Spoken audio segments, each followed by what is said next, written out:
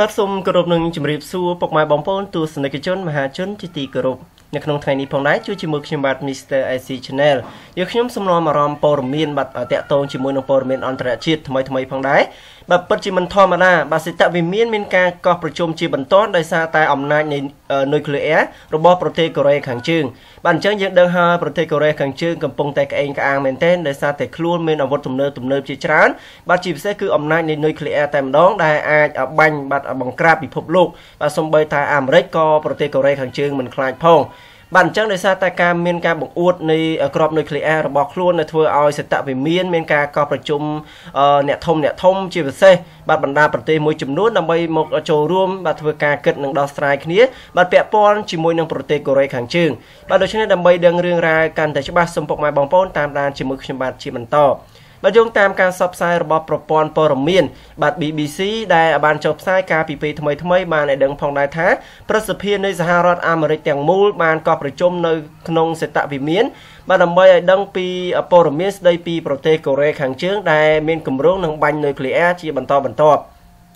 បាទនៅទីក្រុងវ៉ាស៊ីនតោនមានក្តីបារម្ភយ៉ាងខ្លាំងចំពោះការសាកល្បងគ្រាប់មីស៊ីលនិងគ្រាប់បែកនុយក្លេអ៊ែររបស់ប្រទេសកូរ៉េខាងជើងដែលបានគម្រាមកំហែងដល់ប្រទេសជិតខាងបាទនិងសហរដ្ឋអាមេរិកបាទហើយកម្មវិធីប្រកាសព័ត៌មាននោះត្រូវបានរៀបចំឡើងនៅថ្ងៃស្អែកនេះហើយ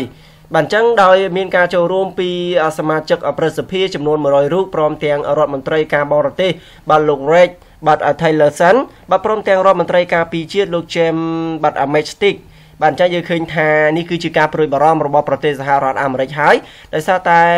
អឺក្របបាទក្របនុយក្លេអ៊ែររបស់ប្រទេសកូរ៉េខាងជើងបាទតែមួយគត់ បាទគូបញ្ជាក់ផងដែរថាជាធម្មតាក្រមមន្ត្រីសេតវិមានធ្វើដំណើរទៅសភាដើម្បីជម្រាបព័ត៌មានស្ដីពីបញ្ហាសន្តិសុខជាតិប៉ុន្តែវាគឺជារឿងចម្លែកមួយដែលប្រសិទ្ធភាពទាំងមូលបែរជាទៅស្ដាប់ព័ត៌មាននៅសេតវិមានវិញបាទនេះគឺជារឿងចម្លែកមួយដែលសារតែមានការភ័យខ្លាចក៏ដូចជាមានការប្រកាសអសន្នហើយដោយសារតែប្រទេសកូរ៉េខាងជើងគម្រាមម្ដងហើយម្ដងទៀតបាទបើសិនជាយើងមិនមានការរៀបចំជើងព្រួលទប់ស្កាត់ទេបាទប្រកាសជាប្រទេសកូរ៉េខាងជើងនឹងកំទេចបាទពិភពលោកបាទជាពិសេសគឺប្រទេសកូរ៉េខាងត្បូងបាទនិងប្រទេសសហរដ្ឋអាមេរិកបាទដែលនៅពេលនេះសូម្បីតែចិនក៏មានការគំរាមទៅដល់ប្រទេសកូរ៉េខាងជើងផងដែរបាទអញ្ចឹងយើងឃើញថាប្រទេសចិននិងប្រទេសកូរ៉េខាងជើងគឺជាសម្ព័ន្ធមិត្តនឹងគ្នាប៉ុន្តែដោយសារតែផ្កើនការផ្កើនម្ដងហើយម្ដងទៀតក៏ដូចជាការរំលោភបាទនៃ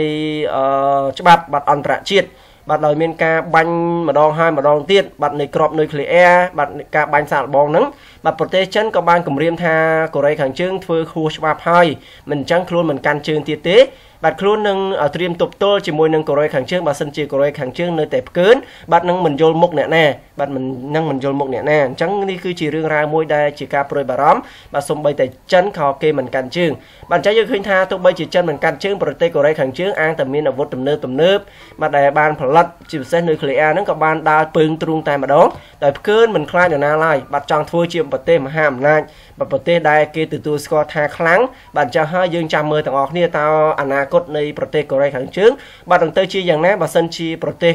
មហាអំណាចធំធំរួមដៃគ្នាកំតិចនោះបាទដូច្នេះព័ត៌មានមួយនេះយើងខ្ញុំក៏សូមបញ្ចប់ត្រឹមនេះអរគុណច្រើនសម្រាប់ការតាមដានបាទព័ត៌មានមួយនេះបាទយើងខ្ញុំនឹងធ្វើការអាប់ដេតព័ត៌មានថ្មីៗតាក់ទងជាមួយនឹងបញ្ហានេះទៀតបាទនៅពេលក្រោយបាទសូមអរគុណច្រើនសូមជម្រាបលា